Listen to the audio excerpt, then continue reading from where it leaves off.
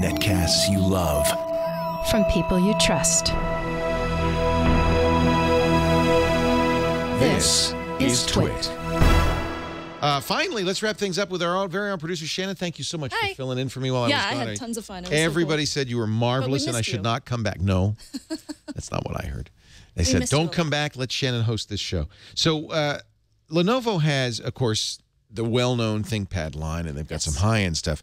But they also have a low-cost line, the Idea line. They do. So um, one of their target markets is is the budget tablet uh, owner. So they wanted to break into that market with this guy, which, Which is is called the Budget, right? Yeah, it's it's definitely budget. It's only 129. It starts at 129. The version that we have here is $149, and this is the Lenovo IdeaTab A1000. Cost more because we have more RAM in it, or Exactly. Yeah. So it has some a few better interiors. Uh, Oh, okay. It comes with a dual core Cortex A9 uh, MCU chip, and you can definitely see that, access- faster, especially when you do things with like the accelerometer. It's actually so for a little. you pay twenty bucks more, you get a little bit faster prompt. Yeah. See Yeah. how long that takes? I think that's partly Android. it's a a lot of Android slow. devices are like that, huh? A little sluggish. They are. It also has um, one gig RAM, 16 gigs internal memory. It also has uh, 32 gigs at external micro SD card slot on the side. So you can increase that memory size if 16 gigs isn't enough. And then I, uh, of course, has the volume ports on the side.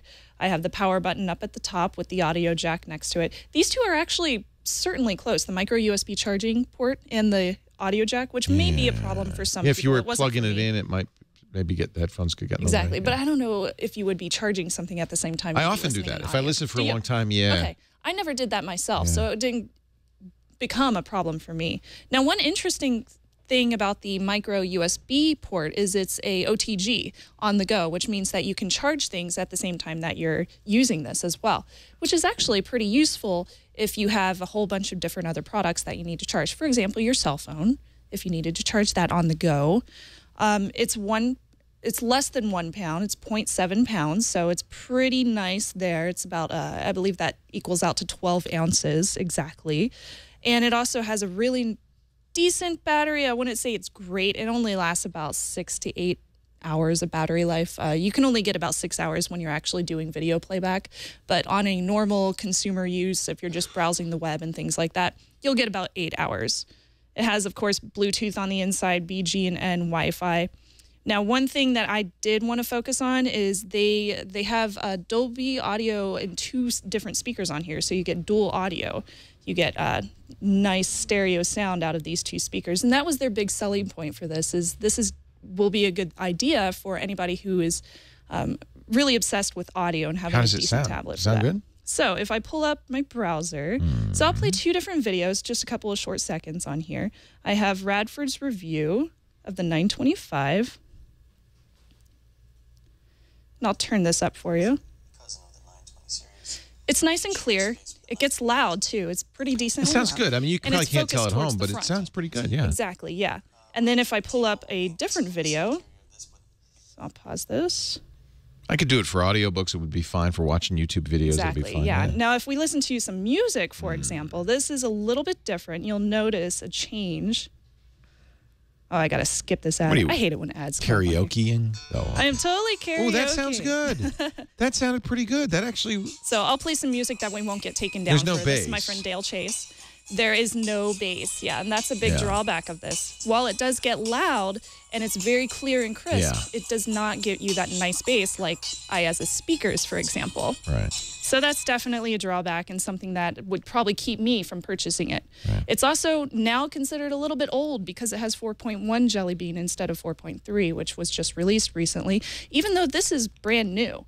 This just came out a couple of weeks ago, so it's pretty brand new. Well, you'd think it'd have a later version of Jelly Bean. 422 is pretty common would, now. Yeah, Yeah.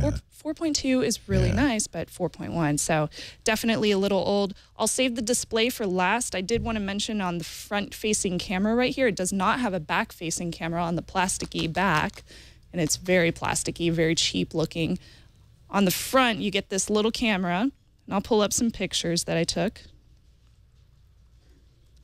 They actually don't look that great. So here's a couple of pictures I took earlier today and some I took over So the five megapixels, eight. It is 0.3 megapixels. Oh, that's the front-facing camera. Yeah. Only a front-facing camera. Only no back front-facing camera. There Oh, is no dude. back-facing camera. It's Dude. very grainy.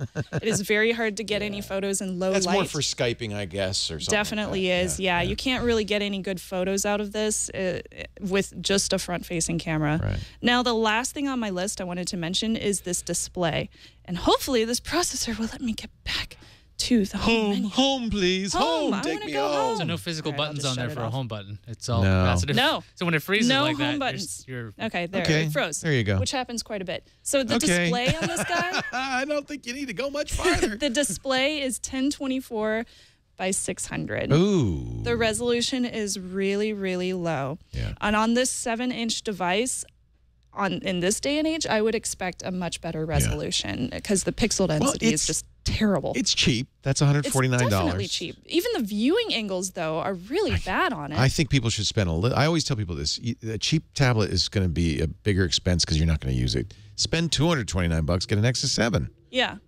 80 See, bucks more, When I you get an do Nexus the 7. viewing angles, even turning just Oh, yeah, yeah. slightly off Yeah. camera, it just Holy goes. cow. you get outdated dark. software, really bad camera on that. Uh, And if you it's look got at no rear this camera. front facing, take a look at that. It almost gave me a slight headache because of The the, resolution strange looking is resolution. not super high. Yeah. Yeah, yeah. yeah. So it was just I really didn't like that. the display is just so bad. Thinking if, well, why don't you do the pros and cons? then- So then, we'll my surprise everybody with your recommendation. Pros, pretty good sound, sound quality with the dual Do- Dolby speakers.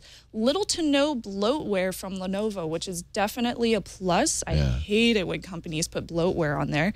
The cons, of course, the terrible screen. Yeah. The screen's horrible. Really is bad. The perf- performance, as far as the CPU and the processing speed go, is definitely slow, especially on the accelerometer. And one very, very low quality camera on the front. Yeah. Which is so, so bad. so, buy, try. So I bet you can guess. Hmm. Hmm. Even at half the price, probably a don't buy, yeah? Yeah, even at half the price, I would give it a don't buy. I would say, you know, cash out the little bit of extra money for a Nexus 7, or even the Asus has a 7 inch tablet, Yeah. which is the same price. We still like the Nexus 7 quite a bit. I think that uh, there are good choices out there. I think This in this not one of case. Lenovo should stick to laptops. And it baffles me that. Dolby puts its name on Yeah. something that sounds that bad. I mean, really, Dolby, come on. all right. Thank you, Shannon Morse, produces Before You Buy. Also, uh, you'll see her all the time on a lot of our shows. Really appreciate it. You'll be playing poker tonight on uh, Friday. Uh, Oh, I will. will you? I don't know. Okay. know. Yes? Is I guess Shannon, you poker. play poker? I did win some money over the weekend in Vegas. Well, there you go. You better watch out, Padre. so, uh, our resident priest is holding a poker game on Friday night. Make sure you tune in. Shannon will be taking the pot. Thank you, Shannon. But you can, right now, you can take that Lenovo away.